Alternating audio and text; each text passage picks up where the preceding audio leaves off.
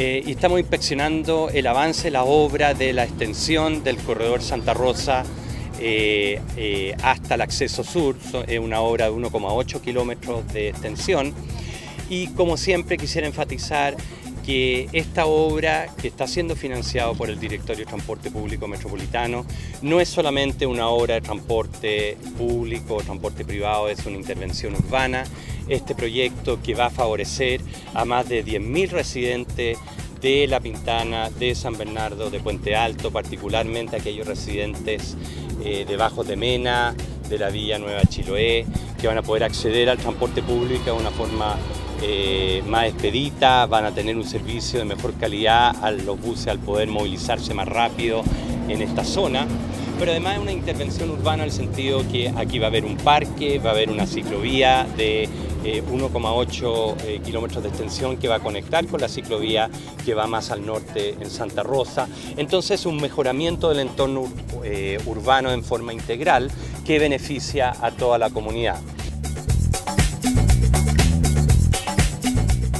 Bueno, esta etapa del, del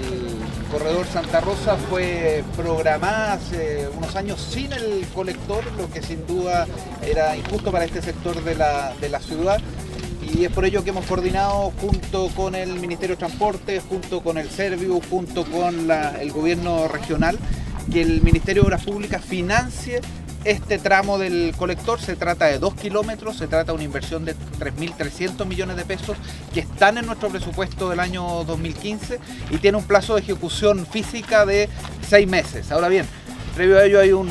trabajo administrativo, esperamos que pueda ser por obra de emergencia y de esa forma tenerlo antes del invierno. De lo contrario, si finalmente no puede ser desarrollado por, obra de emergencia, va a estar a final de año con el término total de la, obra. Es algo que estamos en este momento en conversación con la, con la Contraloría, pero, pero aquí el tema de fondo es que había un corredor que se programó sin el colector necesario y hemos tomado la decisión y hemos puesto el financiamiento para que se instale el colector de 2 kilómetros de 3.300 millones de pesos y de esa forma la obra pueda ser completa.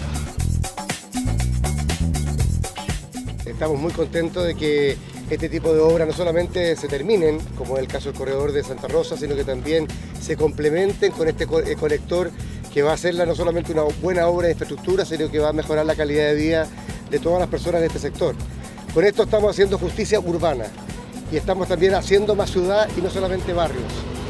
todo el sector sur de Santiago, Puente Alto, La Pintana, San Bernardo, se han ido poblando no siempre con la infraestructura de transporte y con la infraestructura de agua lluvia que correspondía. Ahora estamos llegando a suplir y a paliar esa deuda. Esperamos que en el futuro podamos hacer estos corredores, inclusive antes de que llegue la gente, para que su calidad de vida nunca se vea afectada. El caso de Bajos de Mena y, de, de esta zona de la ciudad es un caso muy emblemático en cuanto a la injusticia con la cual hemos construido nuestras ciudades. Eh, tenemos aquí viviendo en Bajo de Mena solamente en esta zona 120.000 personas eh, que se demoran en promedio en llegar a sus trabajos todos los días una hora 40. Eh, eso es algo que efectivamente tenemos que enfrentar y por lo mismo estamos dando provisión de mejores servicios de transporte, de aumentar y extender el corredor que actualmente está en Santa Rosa, pero con el fin de generar mejores servicios, mejor accesibilidad y también romper con la desigualdad territorial con la cual hemos ido construyendo nuestras ciudades.